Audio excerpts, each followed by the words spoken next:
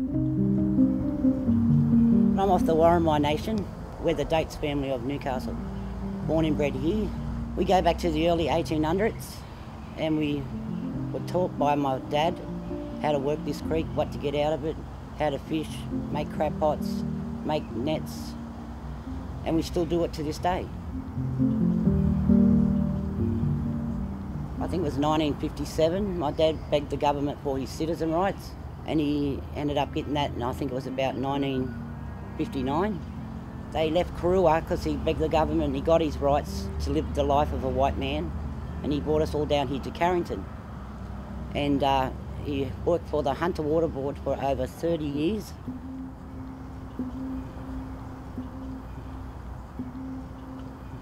The stories can never be lost. You can never, they're always got to be handed down.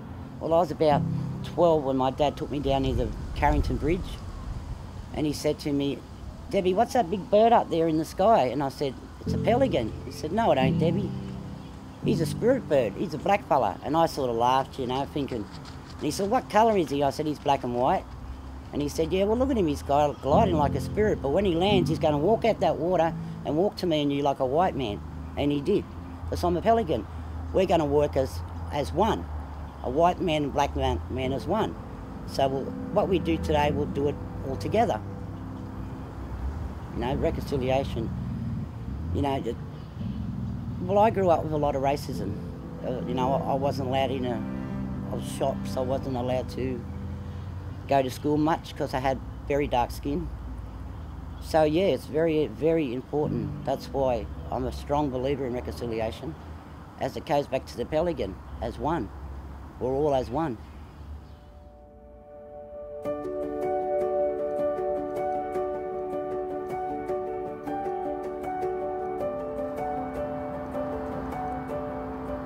I'm very proud and honoured, you know, to be able to call myself um, Aboriginal. You know, one of the longest standing cultures in the world. We have a rich history. To be able to share it and you know be a part of National Reconciliation Week, you know, spreading awareness and you know celebrating the culture that actually comes with being Indigenous is um yeah very proud and honoured to be able to do that and be a part of it.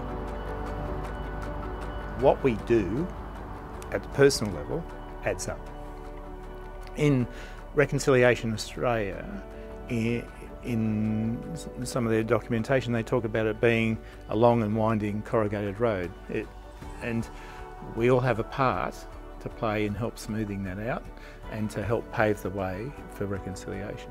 What we can do at Hunter Water, we're not a huge organisation, but we are influential. What I hope is that by us doing the right thing encourages other organisations to do the same and it's not about rushing through the process, it's about getting it right and making an impact.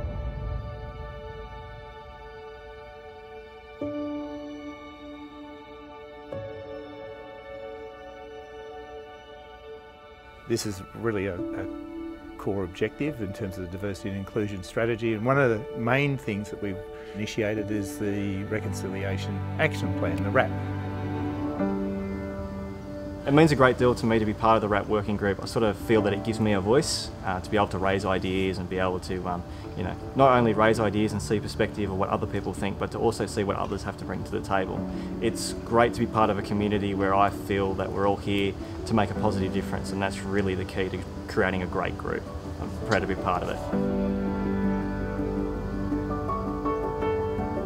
So I'm fairly new to Hunter Water and when I joined I just leapt at the opportunity to join the RAP working group because it's something that's really important to me.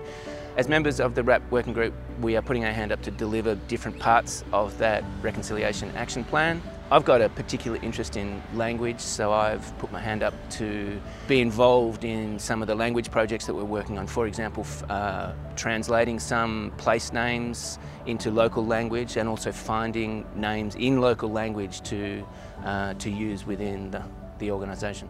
In this together is really around recognising that everybody does have a role to play in reconciliation.